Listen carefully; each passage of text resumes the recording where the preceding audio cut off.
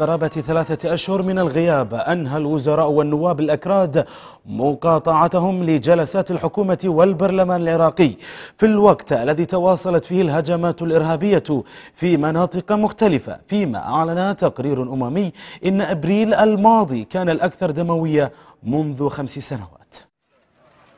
بينما تتواصل الاعتداءات الإرهابية والهجمات الدموية ضاربة عددا من مناطق العراق أصدرت بعثة الأمم المتحدة في العراق بيانا جاء فيه أن شهر أبريل الماضي كان الأكثر دموية في العراق منذ خمس سنوات.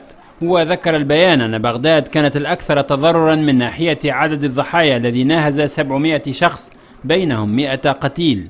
ميدانيا قتل مسلحون مرشح قائمة متحدون بمحافظة نينوى. وفي كركوك قتل أربعة عناصر من الشرطة بانفجار استهدف موكب مدير شرطة المحافظة الذي نجا من محاولة اغتياله. وفي بغداد قال مصدر أمني أن مسلحين هاجموا نقطة تفتيش تابعة للشرطة في منطقة المشاهدة مما أسفر عن إصابة شرطيين اثنين وأحد عناصر الصحوة بجروح بالغة. أما في كربلاء فقد ذكرت مصادر أمنية أن شرطيا يعمل في إدارة معالجة المتفجرات قتل اليوم وأصيب ثلاثة آخرون بعد أن انفجرت قنبلة فيهم خلال عملية إبطال مفعول عدد من العبوات الناسفة. سياسيا أنهى الوزراء الأكراد مقاطعة الحكومة بعد قرار رئيس إقليم كردستان العراق مسعود البرزاني أمس عودتهم ونواب التحالف الكردستاني إلى اجتماعات مجلسي الوزراء والنواب عقب تفاهمات أجريت بين بغداد وأربيل بشأن القضايا الخلافية.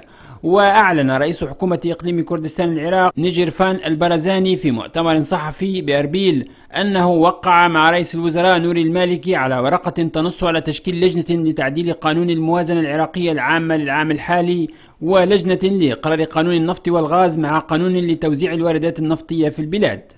كما أعلن أنه جرى الاتفاق على تشكيل لجنة لتحديد الحدود الإدارية في المناطق المتنازع عليها مشيرا إلى أنه دعا المالكي لعقد اجتماع للحكومة الاتحادية في أربيل.